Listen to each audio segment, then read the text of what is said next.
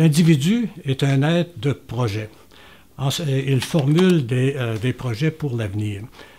En sociologie, nous définissons ces projets sous la forme d'aspiration. L'aspiration est définie comme ce qui est souhaitable, mais aussi réalisable. C'est-à-dire que l'aspiration se distingue du rêve. On, distingue aussi en sociologie deux notions importantes, l'univers des besoins et l'univers des aspirations. Certains individus sont enfermés dans l'univers des besoins, c'est-à-dire ne satisfont que les euh, besoins de base comme se nourrir, se loger, se vêtir. Mais au-delà d'un certain seuil de revenus, on entre dans l'univers des aspirations, c'est-à-dire dans l'univers qui euh, permet de se projeter vers l'avenir, de faire des projets, comme par exemple des projets de voyage, des projets euh, d'aider ses, petits-enfants, comme dans mon cas, euh, puisque je suis grand-père, ou encore rénover la maison, rénover la salle de bain. Bref, euh, les euh, capacités financières permettent justement de euh, projeter de nouvelles réalisations. Le sociologue Gérald Fortin, qui a travaillé à l'Université Laval, a été le premier au Québec et l'un des premiers d'ailleurs en sociologie à étudier les aspirations. Alors, Gérald Fortin et avec son collègue Marc-Léonard Tremblay ont réalisé en 1959 une grande enquête au Québec sur les conditions de vie et les aspirations des ménages. Ils ont défini les aspirations euh, empiriquement à partir de euh, trois questions. Est-ce que les ménages sont capables de satisfaire leurs besoins de tous les jours? Est-ce qu'ils ont euh, les moyens financiers d'améliorer leurs conditions de vie? Et est-ce qu'ils peuvent faire des projets d'avenir? Ces trois questions ont permis de faire une typologie des aspirations. Et ils ont observé qu'à peu près euh, euh, le, tiers des ménages en 59, des ménages québécois, étaient en mesure de combler leurs besoins et de se projeter dans l'avenir, d'avoir des, aspirations. Les deux auteurs ont observé qu'environ le tiers des répondants étaient euh, en mesure de se projeter dans l'avenir en 1959. Ils ont aussi observé que 40 euh, des ménages euh, n'étaient pas en mesure de se projeter dans l'avenir. Parce que nous sommes, je le rappelle, à l'aube de la Révolution tranquille, à l'aube donc de la forte croissance des revenus euh, qui ont suivi par la suite. En 1977, j'étais jeune professeur au département de sociologie où avait enseigné Gérald Fortin. Et le premier travail que j'ai effectué consistait à reprendre l'enquête Tremblay-Fortin et à étudier, 20 ans après, l'évolution des aspirations. J'ai découvert alors, dans ce premier article, article scientifique de ma carrière, j'ai découvert alors que le nombre, la proportion, pardon, de ménages qui euh, entraient dans l'univers des aspirations était beaucoup plus élevée qu'à l'époque de Gérald Fortin, mais surtout qu'il y avait une croissance très forte des aspirations au sein des ménages euh, de classe moyenne, dirions-nous aujourd'hui, qui euh, satisfont euh, en partie leurs besoins, mais qui sont déjà entrés complètement dans l'univers des aspirations. Autrement dit, tout se passe comme si l'appétit grandissait plus vite que le gâteau disponible. Et j'ai aussi observé que les ménages enfermés dans l'univers des besoins étaient beaucoup moins nombreux euh, que 20 ans auparavant. Alors nous observons à partir des aspirations le résultat en quelque sorte de l'enrichissement des ménages euh, durant euh, la période des années 60-70 euh, durant la période des Trente Glorieuses, euh, comme euh, on la connaît de nos jours. C'est donc une mutation considérable observable, observable dans les modes de vie et dans les conditions de vie des ménages. Alors, j'ai publié dans le cahier des 10 des résultats d'une enquête menée, que j'ai menée plus de 50 ans après celle de Gérald Fortin. Et j'ai voulu, en fin de carrière, revenir en quelque sorte à euh, l'objet euh, d'étude de mes premiers travaux de sociologue.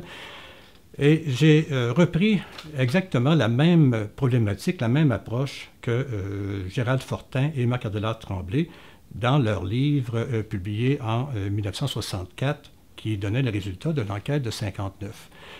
Et j'ai observé des changements importants par rapport à l'année 77 dont j'ai parlé précédemment. En effet, on voit que les ménages euh, enfermés dans l'univers des besoins sont maintenant plus élevés, la proportion est maintenant plus élevée qu'en 1977. C'est donc un changement euh, important. Tout se passe comme si nous observions maintenant une certaine polarisation entre un certain nombre de ménages qui continuent d'avoir des projets, qui continuent euh, d'avoir des aspirations, mais qui sont en moins forte proportion qu'il y a quelques années alors qu'à l'autre extrême, nous avons une plus grande proportion de ménages qui ne peuvent plus suivre la parade, qui ne peuvent plus développer euh, des aspirations en aussi grand nombre, en aussi forte proportion que euh, dans le milieu des années 70. C'est donc un changement majeur qui traduit une certaine polarisation observée au sein de notre société. Comment expliquer les changements historiques qui se sont produits entre euh, ces trois enquêtes, celles de 59, 77 et 2013. La situation contemporaine euh, s'explique par euh, trois grands facteurs. Tout d'abord, un effet de génération, c'est-à-dire que les jeunes ménages qui arrivent à l'âge de s'établir en couple, de former une famille, ont maintenant plus de difficultés à y, à arriver, plus de difficultés à avoir accès de euh, bons emplois. Et euh, les aspirations sont donc davantage contraintes chez euh, ces jeunes ménages. Le deuxième facteur, c'est la mutation des, des, ménages. Ce sont les changements dans les modes de vie. En effet, on observe maintenant un plus grand nombre, une plus forte proportion de familles monoparentales. On observe aussi davantage de couples âgés qui ont de la difficulté à arriver, à planifier, euh, à maintenir leur mode, leurs conditions de vie au moment de la retraite. Comme les gens vivent plus longtemps maintenant, à cause de l'augmentation de l'espérance de vie, eh bien, nous avons un plus grand nombre de ménages euh, âgés et parmi ce groupe, on, observe aussi qu'une partie d'entre eux ont de la difficulté euh, à arriver. C'est donc le deuxième facteur. Le troisième facteur, est euh, relié aux classes sociales. Et ça, c'est un facteur aussi très important. En effet, dans notre société, nous avons maintenant euh, une euh, proportion de, de, travailleurs moins scolarisés, plus faiblement diplômés, et qui ont de la difficulté à arriver parce que dans notre société, nous vivons une société du savoir eh bien, euh, ce sont de bons emplois, des emplois qui exigent davantage de scolarité, qui offrent les meilleures rémunérations. Or, les personnes euh, qui sont moins scolarisées, les personnes qui ont des emplois moins qualifiés, ont de nos jours plus de difficultés à arriver que leurs semblables au milieu des années 70.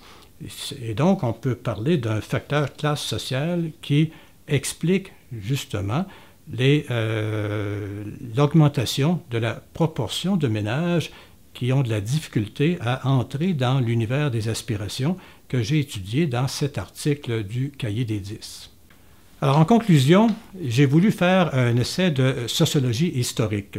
Souvent, la sociologie nous, livre une euh, photo d'une situation donnée à euh, une époque précise, si on veut. Or, la répétition d'enquêtes dans le temps dans ce cas ici 59, 77, 2013, nous permet de constituer une sorte de film qui, euh, qui traduit le changement social en cours. Dans le cas des aspirations, eh bien, on voit que euh, en 59, une partie des ménages euh, sont privés de la possibilité de des d'avoir des aspirations. Une autre partie qui satisfait ses besoins n'est pas encore entrée dans l'univers, euh, n'a pas encore formulé de projet. Euh, les personnes se restreignent en quelque sorte de s'engager dans, dans l'avenir, si on veut. En 77, on observe qu'au contraire, il y a une proportion beaucoup plus forte de personnes qui euh, formulent de tels projets, qui, euh, même si parfois les moyens ne sont pas toujours euh, satisfaisants pour le faire. Tandis qu'en 2013, donc lorsqu'on se rapproche de la situation contemporaine, eh bien, on observe cette fois l'apparition de, plus grandes difficultés pour des ménages et des familles à se projeter dans l'avenir et euh, c'est donc une sorte de crise sociale aussi qui euh, risque de toucher un certain nombre de ménages, notamment des ménages plus jeunes, des ménages retraités ou encore des ménages qui euh, sont formés de personnes insuffisamment scolarisées.